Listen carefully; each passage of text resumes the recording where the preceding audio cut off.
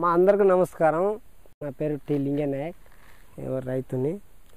మిర్చి తోటకు బండుపూత పూత గండు పూత పిందెలను బుడుపు బుడుపులుగా రావటం వలన నివారించడానికి కోడిగుడ్ల కషాయం నిమ్మరసము కోడిగుడ్ల కషాయం తయారు చేస్తున్నాం.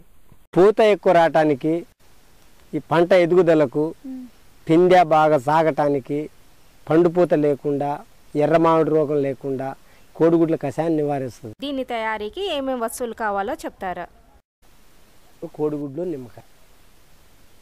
యాభై గ్రాములు కుంకుడుకాయలు. సరిపడా నిమ్మరసం తీసుకోవాలి. నిమ్మకాయలు కోసుకున్న తర్వాత శుభ్రంగా పిండుకోవాలి. అన్న ఇంట్లో ఇత్తనాలు ఇట్లా ఇత్తులు పడవద్దమ్మా.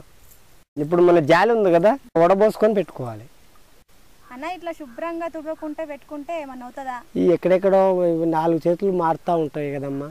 దుమ్ము దులారం చెత్త చెదారం అంతా ఉంటుంది. శుభ్రంగా తుడిచి పెట్టుకుంటే నీట్గా మనకు తయారవుతుంది.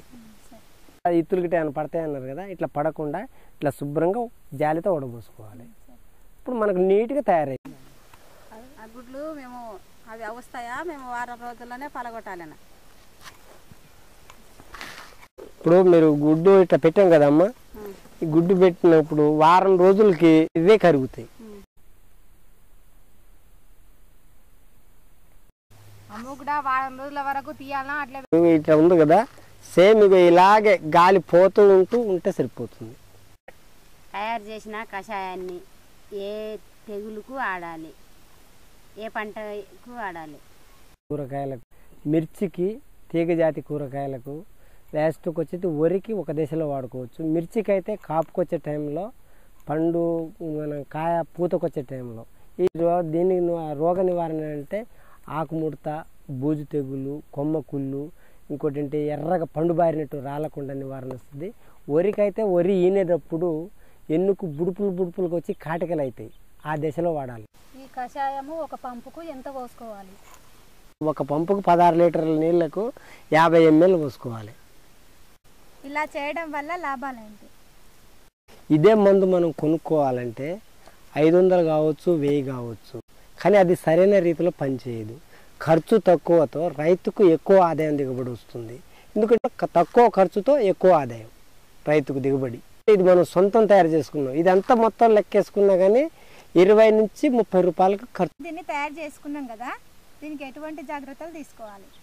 శుభ్రమైన చోటు చల్లగా నీడగా ఉన్న చోట్ల పెట్టాలి. ప్రతిరోజు పొద్దున సాయంత్రం మూత ఇట్లా ఉంది కదా ఇవి ఇట్లా కొంచెం మూత తీసి మళ్ళీ ఇట్లా మూత పెట్టేయండి.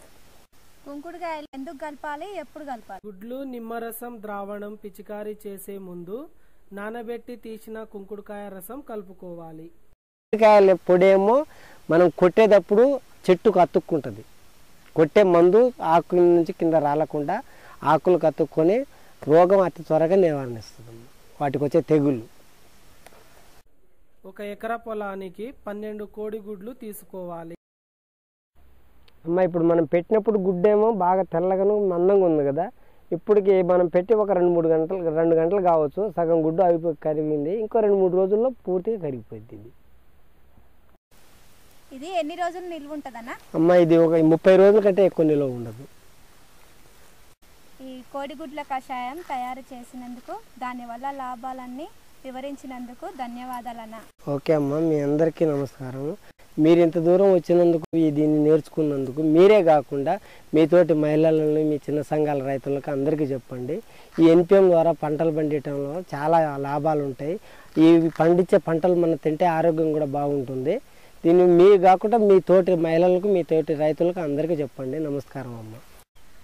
నిమ్మరసంలో వేసిన కోడిగుడ్లు ఎనిమిది రోజులకు ఈ విధంగా తయారైంది.